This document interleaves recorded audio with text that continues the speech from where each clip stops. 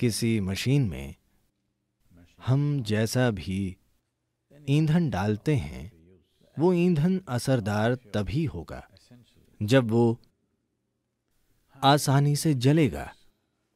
कारों में जैसा पेट्रोल डाला जाता है, वो अलग होता है। ट्रैक्टर में अलग पेट्रोल डाला जाता है, रेस कार में अलग, हवाई जहाज़ में अलग फ़र्क ये है कि कुछ पेट्रोल आसानी से जलते हैं। तो आप अच्छे से जानते हैं, सबसे आसानी से पचने वाला भोजन फल है।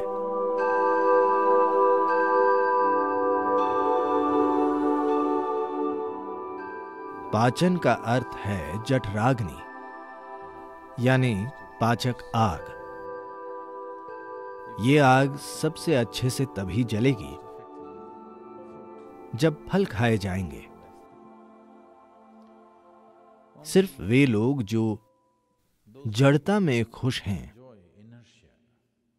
यानी एक हिस्सा मृत होने पर वे खुश हैं। इसे मज़ाक न समझें। ऐसे कई लोग हैं दुर्भाग्य से कई लोग सुस्ती और जड़ता का आनंद लेते हैं। यानी उन्हें जीवन ने छुआ नहीं है। तो सोना, नशा करना, अधिक खाना और बस लेट जाना। जीवन में जीवित, सक्रिय और गतिशील रहने से बेहतर लगता है। तो सिर्फ़ ऐसे व्यक्ति के लिए फल से समस्या हो सकती है। क्योंकि फल आपको सतर्क और जागृत रखेगा या आपको नशा नहीं देगा, बशर्ते कि ये सड़ न जाए। तो इसमें वो गुण भी है। आपको बस रुकना होगा। जागरूकता के ऊँचे स्तरों से भी व्यक्ति आनंद और नशे के चरम और गहरे आनंद को जान सकता है। पर आपका सवाल है, मैं सामान्य होकर भी फल खा सकता हूँ? या मैं फल खाकर भी नॉर्मल हो सकता हूँ? आप जानते हैं आदम ने भी फल खाकर शुरुआत की थी। A fruit. तो फल के बारे में हमें समझना चाहिए कि फल ऐसी चीज़ है जिसे प्रकृति खुद भोजन बनाना चाहती है। यानी ज़्यादातर फल जो आप देखते हैं मान लीजिए कि आम या सेब मई का महीना होने के कारण मैं सेब की बात नहीं करूँगा, मैं आम की बात करूँगा। बीज आम का महत्वपूर्ण हिस्सा है। गूदा सिर्फ़ एक आकर्षण है, ताकि जानवर और पक्षी इसे खाएँ और बीज कहीं बहुत दूर छोड़ आए तो फल शरीर के लिए चमत्कार कर सकते हैं। फलों का पर्याप्त सेवन प्रणाली के लिए बहुत कुछ कर सकता है। कोई भी व्यक्ति बहुत जीवंत और सक्रिय बन सकता है, चाहे आपकी जीवन शैली कुछ भी हो। पर अगर आप मेहनत का काम कर रहे हैं, मान लीजिए कि आप बाहर खुदाई कर रहे हैं, हर रोज शारीरिक रूप से, मशीन से नहीं, आप खुद खुदाई और बहुत मेहनत का काम कर रहे हैं तो फल खाकर आपको हर दो घंटे में भूख लगेगी, क्योंकि आप सीमित मात्रा ही खा सकते हैं। पर यह जल्दी पचता है और पेट खाली हो जाता है। जब तक आप जागरूकता के एक स्तर पर नहीं आ जाते, जहाँ आप खाली पेट रह पाए और फिर भी ऊर्जावान रहें, क्योंकि भूख यानी ऊर्जा का कम होना, जैसे आपकी बैटरी खत्म हो रही है, इसलिए खाना ज़रूरी है।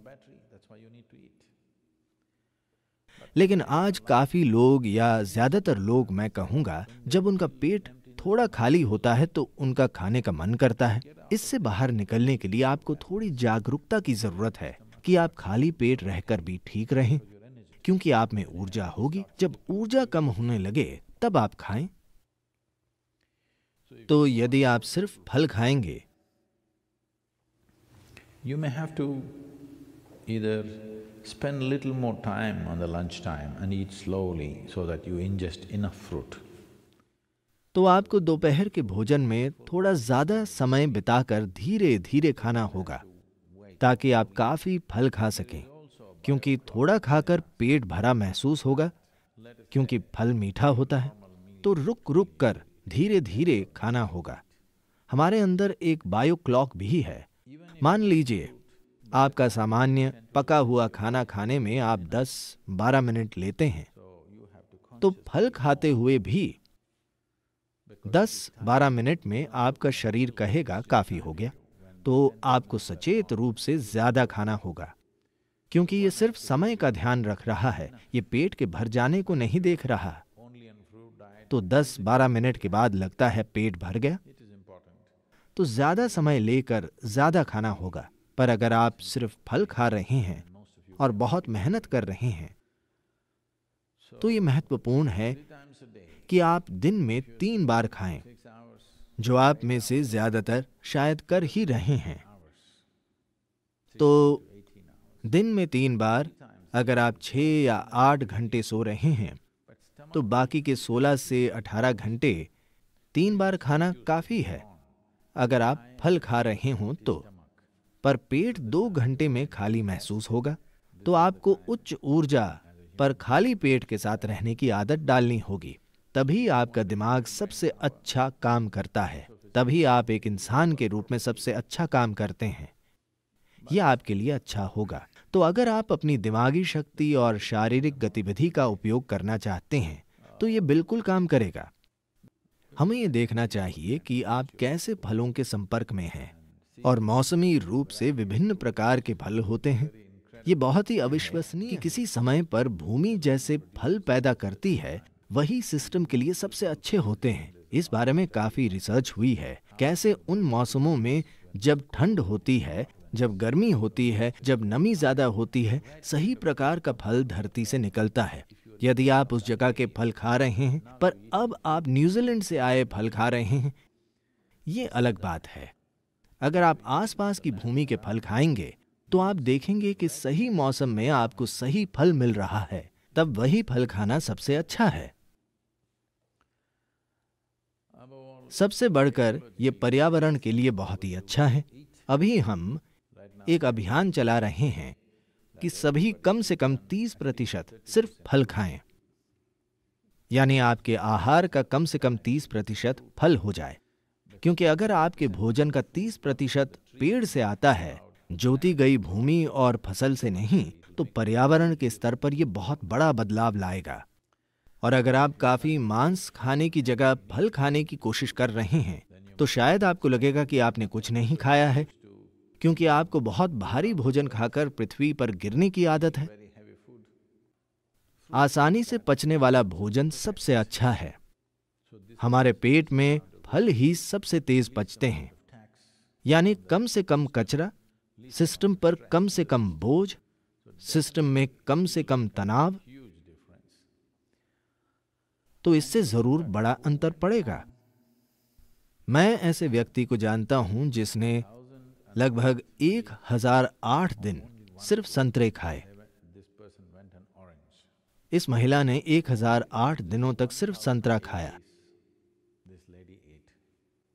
शुरुआत में उसे कई बीमारियाँ थीं। उसे मधुमेह, उच्च रक्तचाप और मुझे नहीं पता क्या क्या था। मुझे बीमारियों की सूची बताई गई थी।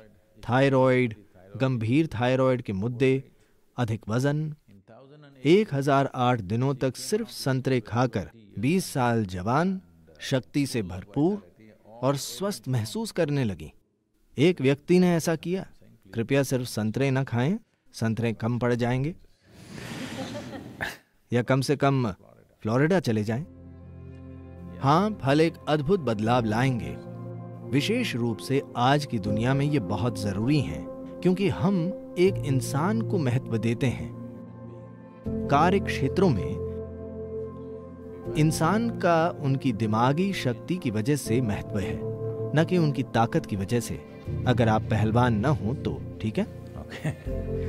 तो इसके लिए फल से ज़रूर बहुत बड़ा बदलाव आएगा और पर्यावरण के स्तर पर यह सबसे समझदार चीज़ है फल और मांस के बीच एक व्यक्ति के जीवित रहने के लिए मान लीजिए कि आपको सिर्फ़ मांस पर जीवित रहना है तो अनुमान है कि एक व्यक्ति के लिए एक साल का मांस पैदा करने के लिए पंद्रह हज़ार लीटर पानी चाहिए और फलों का आहार हो तो 300 लीटर पानी चाहिए We will need 300 liters of water.